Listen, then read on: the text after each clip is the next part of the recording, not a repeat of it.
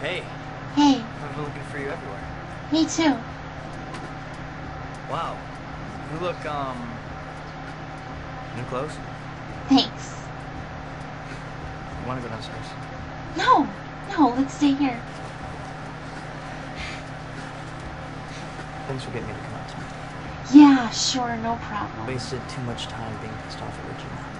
No more prayers. I would never lie to you. I know. Although, okay, listen, I mean, I did lie to you once, but you're totally gonna laugh when I tell you so. Tell me what?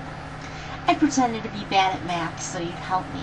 But the thing is, I'm not really bad at math. I'm actually really good at math. You're kind of bad at math. Anyways, now I'm failing. Isn't that funny? Wait, you're failing on purpose? That's stupid. No, not on purpose. Just, you know, I wanted a reason to talk to you. Why don't you just talk to me? Because I couldn't, because of Regina, because you were her her property. Your property. No, shut up, not her property. You told me to shut up. I wasn't. God, you know what? You are just like a clone Regina. No, no, you're not listening to me. Listen to me. You're not listening to me. Oh no, it was coming up again. Word vomit. What no, wait a minute. Actual vomit.